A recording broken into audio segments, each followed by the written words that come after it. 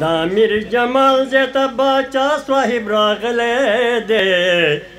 دا محفل ډېر ښکلی دی او ښکلې رنګینۍ دي په ګڼ تعداد کې خلک ډېر رارسېدلی دی دا محفل ډېر ښکلی دی او ښکلې رنګینۍ دي یو دی حاجي امیر جمال ورسه دویم طارق جمال دریم کا کی رحمت جلال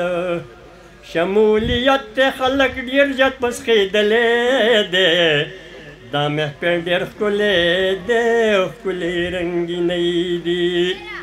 خلق را غوند په نورق باچا را غلې په عزت خلق کوي شمولیت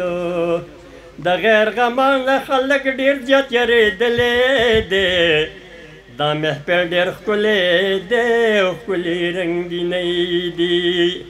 باچا ډېر کړي خدمتونه هر ځای کې کړي دي کارونه چاته بجلی چاته روډونه د کارنامو حواز هر طرف ته تللی دی دا محفل ډېر ښکلی دی ښکلی رنګینۍ دل دی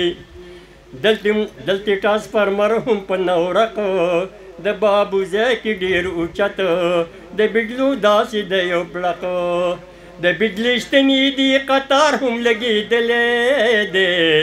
دا محفل ډېر ښکلی دی ښکلي رنګینۍ دی د بخ جمال باندې په خوا کې تیر شوی دی د په هوا کې زما د زړه نه په سلا کې د حاجب ګل د خړ جمعات ته رسیدلې دی دا محفل ډېر ښکلی دی او ښکلې رنګینۍ دی باران وریږي شویجا کړي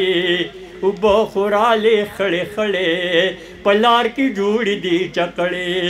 کورته پتلو کې رحمان ګل را غورځېدلې دی